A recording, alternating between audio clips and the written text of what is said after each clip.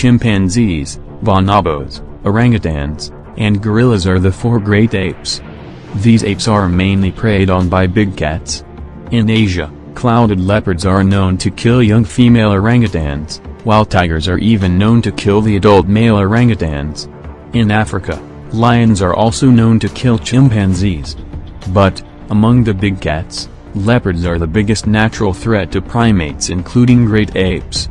Leopards are known to kill primates for millions of years. A 1.5 million year old skullcap of a Paranthropus robustus, one of the heavy-jawed hominins which lived in prehistoric South Africa, was found with two neat puncture marks, caused by a leopard. In Africa, leopards are known to kill large primates like baboons, mandrills, bonobos, chimpanzees and even gorillas. Among great apes, chimpanzees are the main targets of leopards. Bonobo fingers were also found from leopard scats. Leopards hunt gorillas only on rare occasions. Here are some of the details, evidences, and reports of leopard predation on gorillas.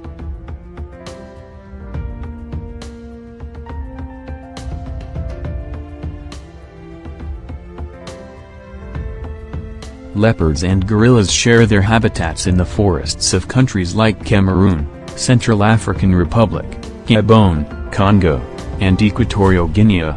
Majority of the predations are reported from Central African Republic, Gabon, and Congo.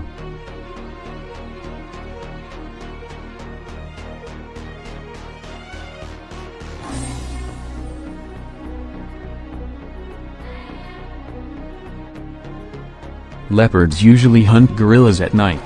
This is the time when gorillas sleep. So using stealth, leopards pounce on unsuspecting gorillas.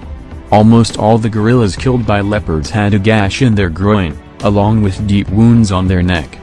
Leopards bite at the groin region of gorillas to tear off their testicles, and severe large artery in the process.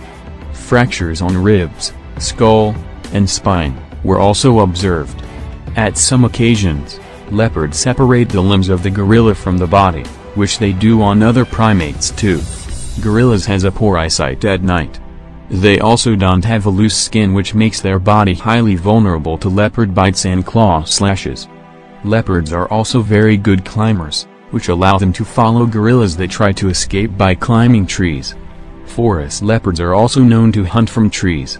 So, they may ambush unsuspecting gorillas that walk under these trees. Male leopards in these regions have a better muscular build too. Gorillas consist of about 8.8% of leopards' diet in Gabon. Leopards are known to hunt both western and eastern gorillas. One of the largest gorillas a leopard killed was an adult male silverback that was four times the leopard's weight. Leopards are the apex predators of these rainforests. Unlike savanna leopards, these forest leopards hunt larger prey like okapis, bongos, and even forest buffaloes. There was even a report of a 10-month-old forest elephant killed by a leopard.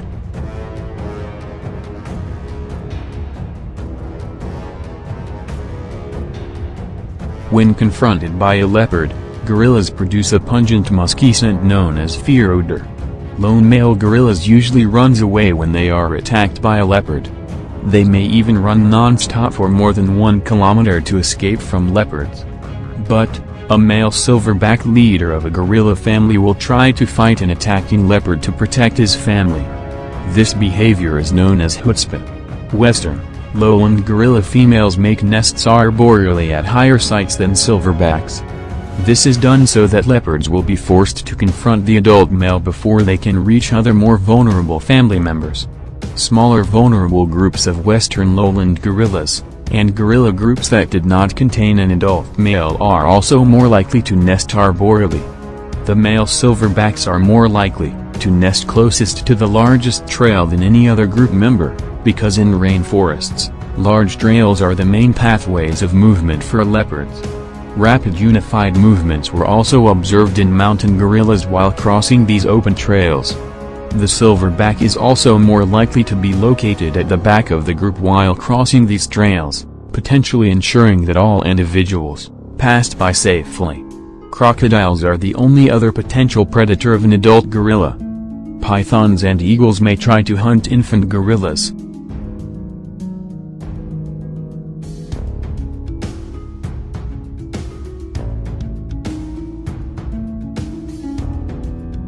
Autopsy reports of the gorilla skeletal collection, at the Yale Peabody Museum of Natural History, showed that three of the gorilla skeletons had signs of predation from leopard.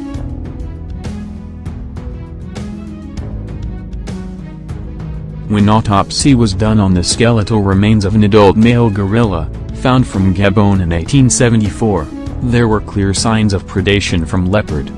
There were fractures on the sixth and seventh vertebrates and their spinous projections were also broken. Leopard bite marks were present on the right pelvic bone. The jaw was broken, and minor fractures were present on the skull. Ribs were also broken and splintered at the ends. Broken vertebrates indicates that the leopard killed the gorilla by biting on its neck, while bite marks on the pelvic bone indicates that the leopard tried to bite at the groin region of the gorilla to tear off its testicles.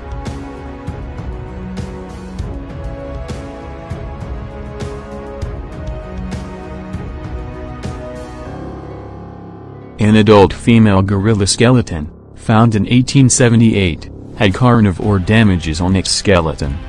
There were several bite marks on its left scapula. All these damages happened during the time of its death.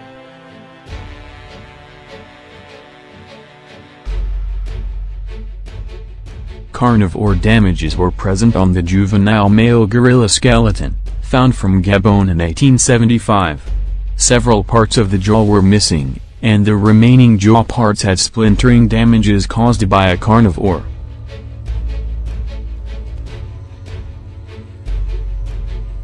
Two toes of an adult gorilla was present in a leopard scat, collected by ecologist Michael Fay, from Central African Republic in 1987.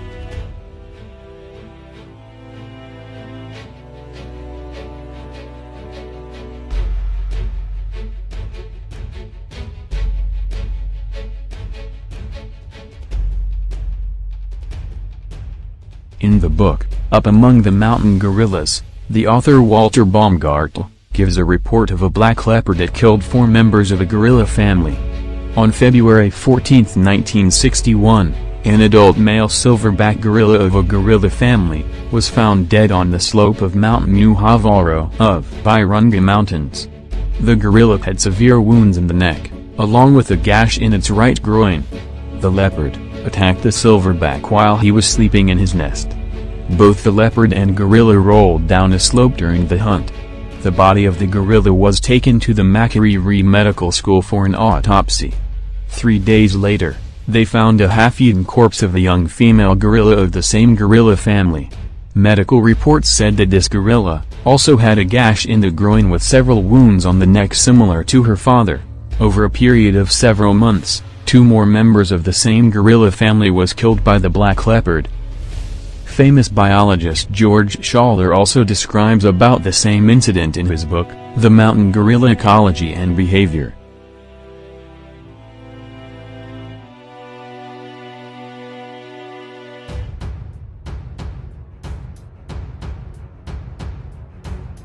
The 2006 Howells Award-winning book, Man the Hunted, also give details about the same incident.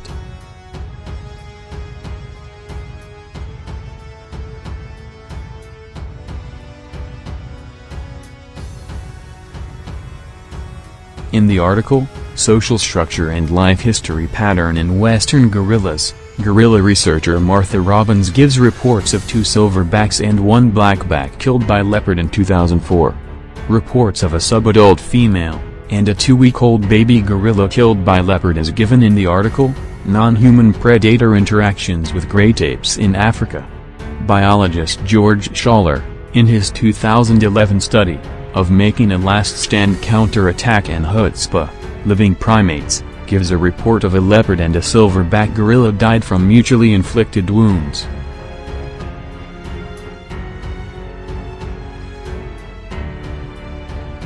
In the article, leopard attack on and consumption of gorillas in the Central African Republic, Michael Fay, gives a report of a leopard that attacked a blackback and a silverback gorilla on the same night. In the book Congorilla, the author Martin Johnson gives a report of two leopards that attacked a gorilla family. In 2003, primatologist Chloe Cipolletta, gave a report of a silverback that was severely injured by a leopard. A female gorilla injured by a leopard was also reported from Bai Hokou. In the article, Leopard's Pursuit of a Lone Lowland Gorilla, Watson gave a report of a leopard which chased a gorilla in Central African Republic.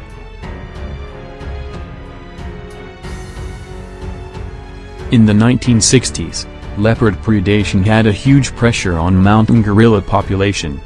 In the Virunga Mountains, gorilla population reduced to one family with two members at that time. But now, mountain gorillas does not face any threat from leopards. But, certain families from western lowland gorillas still face predation from leopard. That's all for today.